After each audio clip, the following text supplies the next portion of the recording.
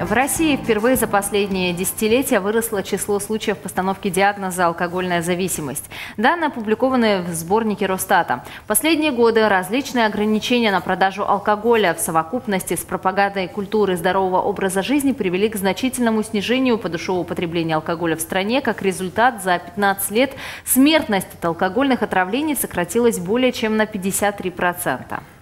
С 2010 по 2021 год э, число впервые выявленных пациентов-алкоголиков очень значительно, с почти 154 тысяч до, снизилось до 53 тысяч человек. Это важный медицинский и общественный показатель. Но по итогам 2022 года положительная тенденция прервалась. Под диспансерное наблюдение попали 54 200 человек с алкогольной зависимостью. При этом почти у 13 тысяч из них был диагностирован алкогольный психоз. По словам экспертов, ситуация связана с пандемией и социально-экономическими потрясениями. При этом отмечается, что данных Росстата недостаточно, чтобы судить об общей ситуации с алкоголизацией. Ведь эта статистика только по наркологическим диспансерам, а это вопрос, э, обратился человек за помощью или нет. Кроме того, много тех, кто обращается анонимно в негосударственные учреждения и не попадает в статистику. Но есть еще один момент. В статистику попадают не только пациенты с зависимостью, но и люди с так, называемой, с так называемым пагубным пагубным употреблением. Например, человека поймали пьяным за рулем,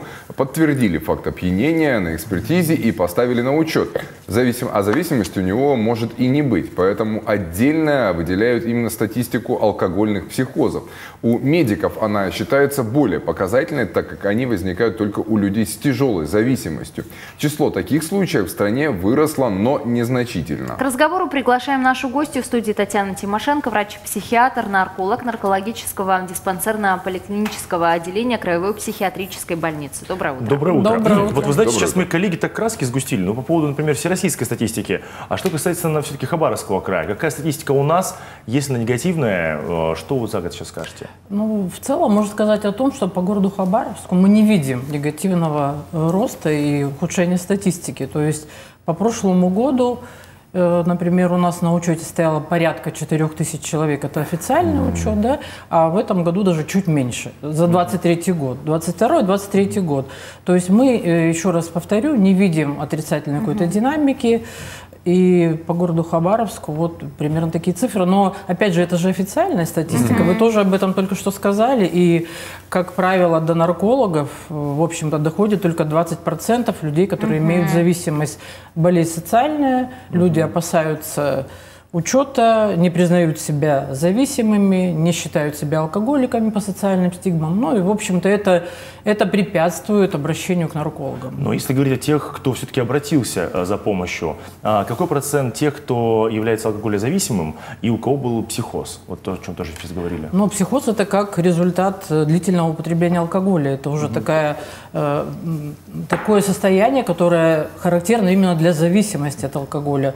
У нас по прошлому году порядка 100 случаев mm-hmm. было mm-hmm. алкогольных психозов. Да. Mm-hmm. И если мы говорим о зависимости и о тех, кто имеет ее, да, то вот мы уже сказали о том, что это вот такая цифра, mm-hmm. и психозы это как следствие именно э, этого состояния употребления алкоголя. Потому что если вот говорить о пагубном употреблении, это первая стадия зависимости. Mm-hmm. Ведь это же хроническое заболевание, которое имеет свои стадии и, в общем-то, подразделяется на них. Вот вы говорите про э, официальные данные, официальные цифры. А кого вообще ставят на учет? Вот именно люди, которые имеют диагноз зависимость угу. алкоголя, они подлежат учету. Но это должно быть письменное согласие пациента угу. обязательно. То есть добровольность лечения – это первый, э, первый принцип лечения, и письменное согласие человека, который желает встать на учет. Но хочется сказать о том, что люди опасаются учета, не понимают, что это Э, не навсегда. Угу. То есть учет у нарколога имеет определенные э, временные рамки. Это порядка двух лет подтвержденной трезвости. И человек в состоянии ремиссии снимается с динамического наблюдения, в общем-то, и также может быть социально активен, э, получать престижную работу, права угу. и так далее. То есть это пугает людей, потому что люди не знают, и многие по этой причине не хотят вставать на учет. Угу. Хотя по фиксированным случаям, они уже находятся э, в той базе данных, которые ну, регистрированные, так скажем, случаи. То есть они уже пролечились, и они все равно попали в поле зрения наркологов, независимо от того, встали они на учет или Ну, нет. если человек согласия не дал, то он э, вот в учет не попадет, правильно? Ну, в общем, да, но это регистрированный случай. Все равно при обращении, например, за какой-то э, справкой на трудо... для трудоустройства либо получения прав, все равно эта отметка будет в компьютерной базе данных, и человек должен будет уже потом э, доказывать, что он там, не употребляет алкоголь, и динамическое наблюдение, оно также будет продляться два года. Знаете, у нас, э, извини, Люся, э, в обществе достаточно стереотипное представление о том, кто такой алкоголик. Да? Когда говорят алкоголик, очень часто рисуют люди какие-то картинки каких-то маргинальных, каких-то асоциальных людей, каких-то полуопустившихся, грязных, какие-то под забором они там валяются и так далее. Так ли это, исходя из вашего опыта и вообще с медицинской точки зрения, кого можно назвать алкоголиком?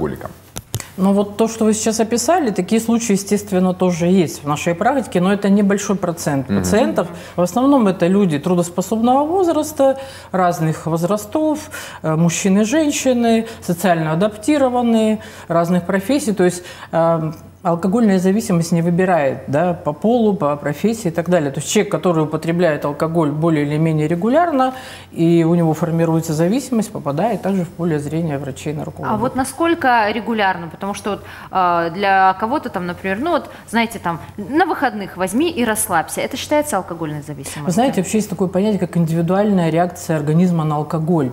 И как таковых норм не существует. Э, Два-три раза в месяц – это умеренное употребление алкоголя.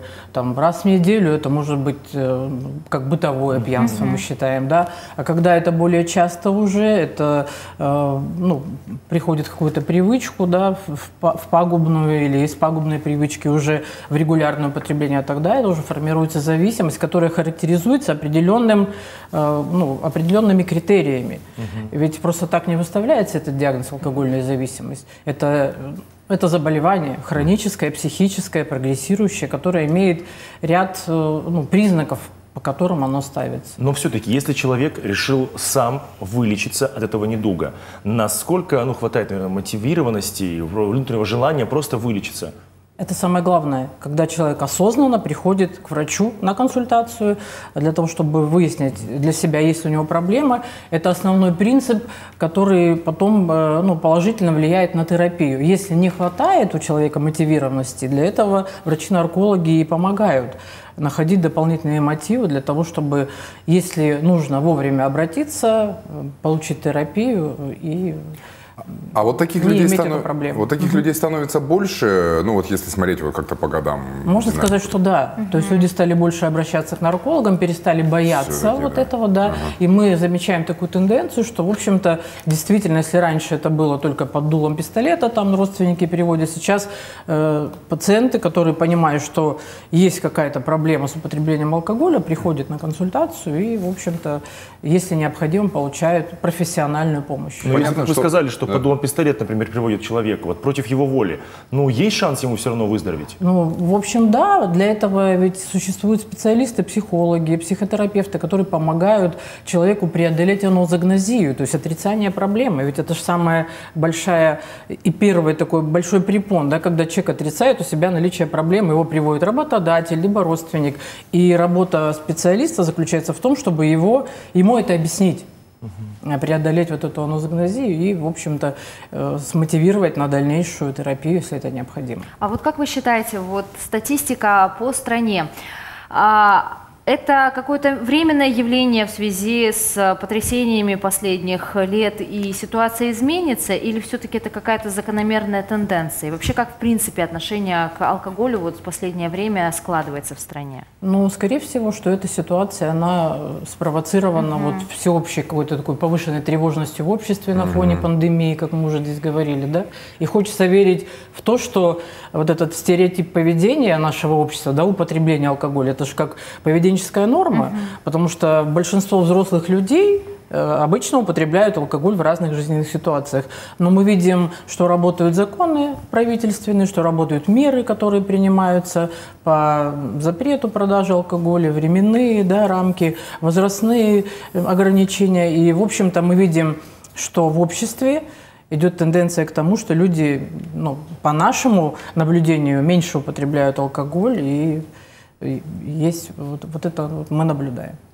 Но на самом деле, э, даже там по окружению смотреть по знакомым, что много тех, кто вообще отказывается от алкоголя даже по праздникам, даже, не знаю, по пятницам, даже за Совершенно верно. компанию. Да. Это Люди выбирают спорт, путешествия, э, семья, воспитание детей, престижная работа. То есть сейчас как-то такая тенденция в обществе наблюдается, и причем это уже давно, порядка там нескольких лет мы это видим, и это радует. Спасибо большое. У нас в гостях была Татьяна Тимошенко, врач-психиатр, нарколог наркологического диспансерного поликлинического э, отделения Краевой психиатрической больницы.